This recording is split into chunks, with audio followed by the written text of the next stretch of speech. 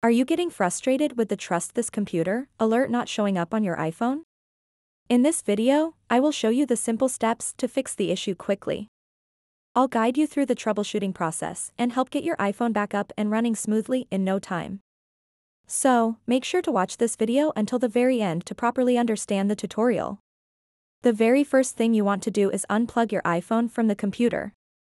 After that, open up the settings of your iPhone and then scroll down a little bit and tap on General.